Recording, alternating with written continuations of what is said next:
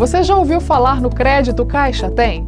Pois então, esse é o novo produto do Banco Digital da Caixa. Mas, antes de pedir o seu empréstimo, você precisa atualizar seu Caixa Tem e depois o seu cadastro. Mas fique tranquilo que vou te mostrar como que faz. Vamos começar pela atualização do aplicativo. Se você usa celular com sistema Android, abra a Play Store aquela loja onde você baixa os aplicativos no seu smartphone, ou abra a App Store, se você tem um iPhone. Procure pelo Caixa Tem, veja se o botão Atualizar está disponível. Se estiver, clique nele. Se ele não aparecer para você, significa que seu Caixa Tem está atualizado e você já pode fazer a atualização do seu cadastro. Agora, vamos fazer sua atualização cadastral.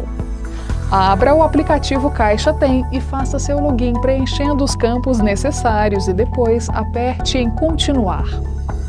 Na tela inicial do Caixa Tem, vá na opção Atualize seu cadastro. Aperte em Li e concordo com os termos e condições, política de privacidade e contrato de serviços. E depois em Quero a minha poupança. Siga as orientações do aplicativo para as próximas etapas que vão solicitar alguns dados pessoais. Confirme ou altere o seu endereço e informe seu país de nascimento, sua renda, sua profissão e o seu patrimônio.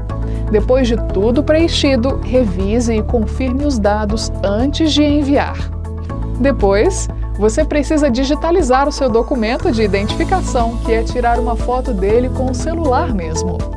Pode ser a sua carteira de identidade, RG, ou a sua carteira de motorista, CNH. Por último, você deve tirar uma foto do seu rosto, a famosa selfie. É preciso estar segurando o documento que acabou de digitalizar. Essa foto serve para comprovar a sua identidade. A avaliação do seu cadastro deve ser concluída em até 10 dias. Pronto! Agora é só aguardar. Quando a análise for concluída, você receberá uma notificação pelo Caixa Tem informando se você já pode solicitar o seu empréstimo. E não é preciso procurar uma agência. Enquanto isso, continue usando seu Caixa Tem, aproveite sua conta Poupança Digital Mais e fique de olho nas novidades. Caixa, o banco de todos os brasileiros.